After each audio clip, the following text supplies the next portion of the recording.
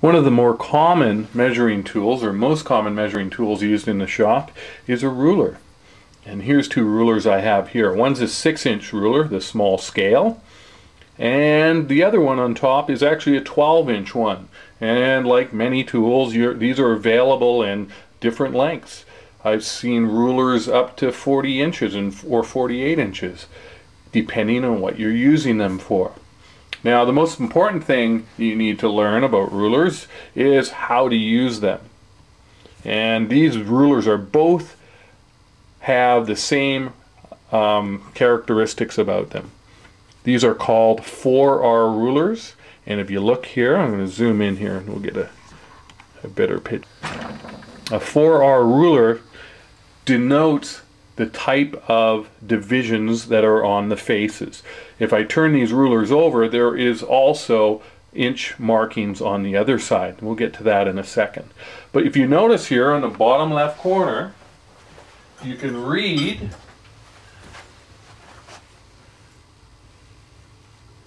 eighths. Okay? What that means is between every inch is eight lines, and that's going to help you measure. Depending on the amount of accuracy you need will determine the scale you choose.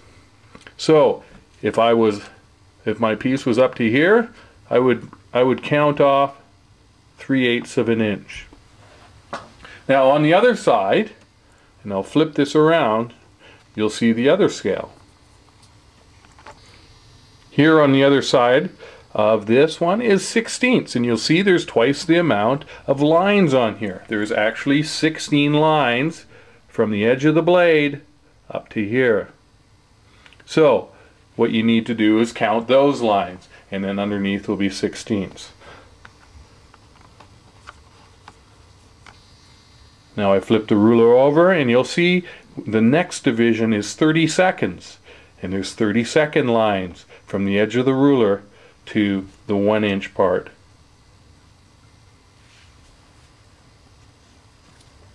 Now can you guess what's going to be on the other side of this one? Well if you guess 64ths then you're right.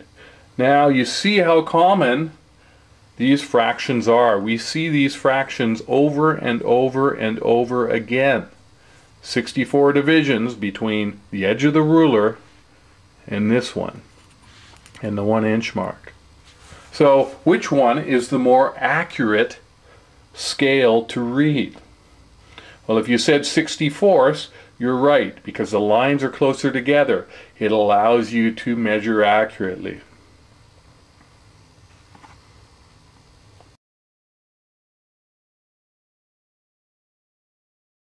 Now what's important about rulers is that you don't bang them because these edges become marked up and that's really important edge because you can also check and see if something's flat by sticking it up to there.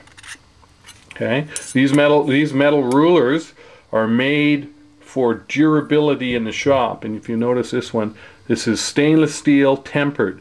It's a special type of steel designed to for durability in the shop and accuracy.